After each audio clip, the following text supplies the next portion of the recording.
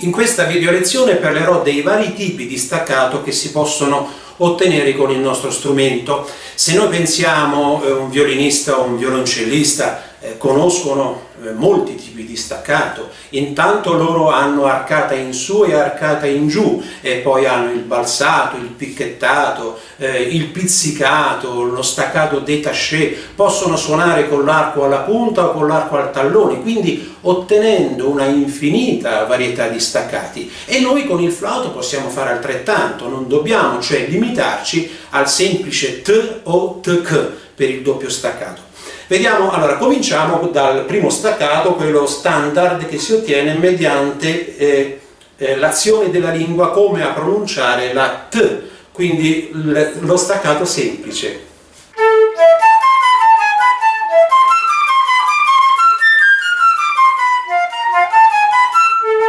E questo si ottiene con T.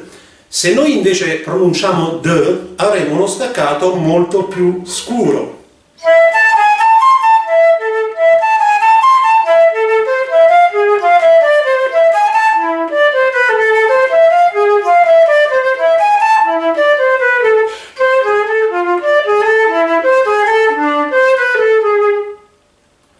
possiamo avere poi eh, lo staccato soltanto con il K, che serve anche a rinforzare questo colpo eh, di gola.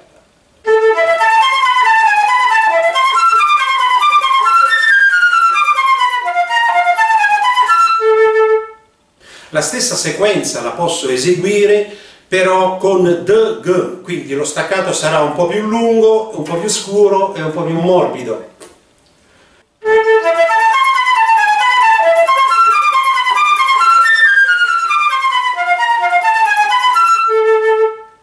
Abbiamo poi uno staccato poco utilizzato che si può eh, ottenere come a pronunciare la consonante L, L. In questo modo noi otterremo uno staccato molto molto molto leggero. Ascoltate.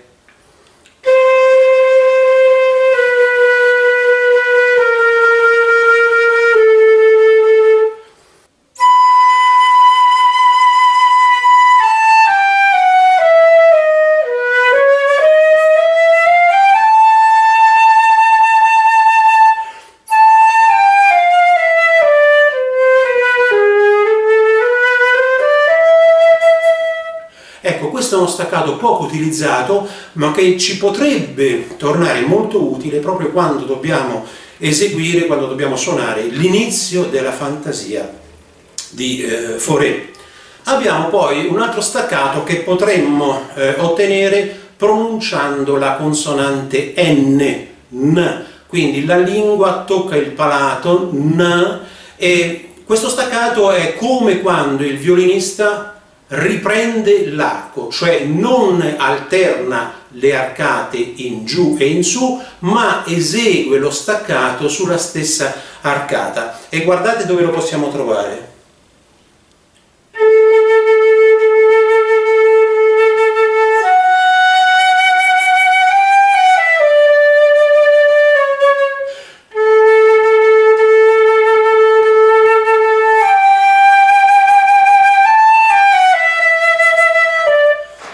Io non eseguo le crome, il levare pronunciando T e T,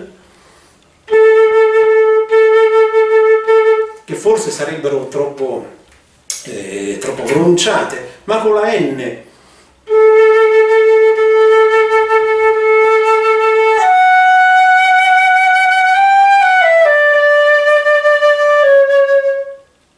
Ancora lo staccato con la R questo però eh, potrebbe esserci molto comodo quando dobbiamo eseguire delle successioni di semicrome puntate seguite da biscrome.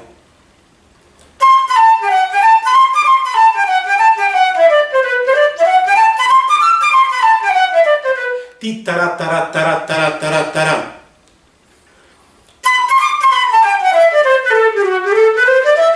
Possiamo quasi definirlo un doppio staccato di lingua. Eh, la prima nota la pronunciamo con T, la seconda con R, R, ma non con la R come la eh, utilizziamo noi per dire Roma, La R come la utilizzano gli americani quando dicono New York City. City è una R che sembra una T al contrario, cioè non T ma R. Tire, tere, tere, tere, tere, tere, tere, tere. È uno staccato molto molto molto interessante. Abbiamo poi un ultimo staccato che si fa soltanto con le labbra, quindi la lingua non entra per niente in gioco. E in questo modo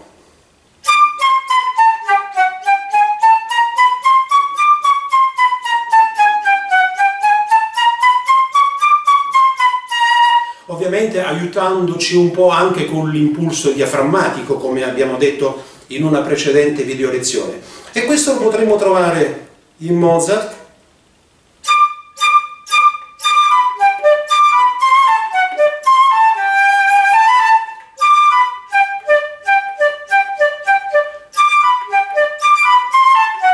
ancora sempre Mozart,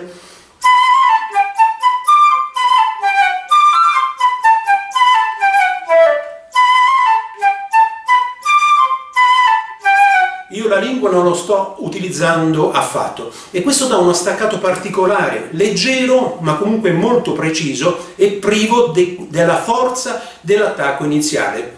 Grazie, alla prossima video lezione.